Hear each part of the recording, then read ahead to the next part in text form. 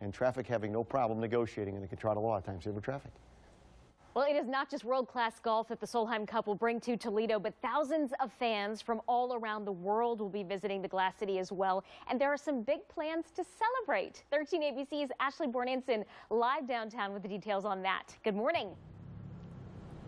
Sasham, good morning. Right now, we might be the only ones here at Promenade Park, but soon, come September 3rd, 30,000 people are expected to be pouring in, filling the streets of Toledo, and that includes not only Toledoans, but our out-of-state and European guests as well. The, the downtown area will be activated with so much to celebrate in ProMedica's Fan Fest celebrations, kicking off the Solheim Cup tournament celebrations right here. There will be live bands, art food trucks, a champagne float area, and so much more.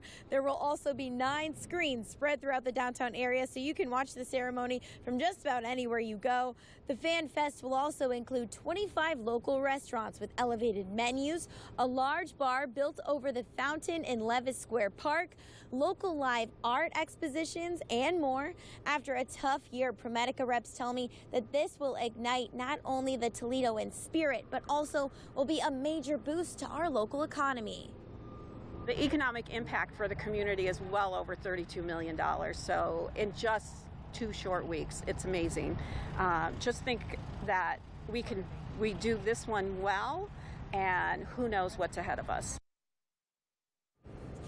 The ProMedica team tells me they are so excited to prove to the world what Toledo can do and how they can host this incredible celebration for the world to see. That celebration kicks off Friday at 2 p.m. with those activities all night long. And of course, we've got that big headliner that's Gwen Stefani performing at night right here at the Promenade Park and also a major fireworks celebration. And of course, for all those country fans out there, you've got Chris Young performing Saturday night. All those tickets can still be found at promenadeconcerts.com. There's still general admission available that starts at 30 bucks and some VIP seating, but it's only standing room only now, so you're going to want to get those tickets fast. Of course, we'll have all those details at 13abc.com. Reporting live from Toledo, Ashley Bornancin, 13ABC Action News.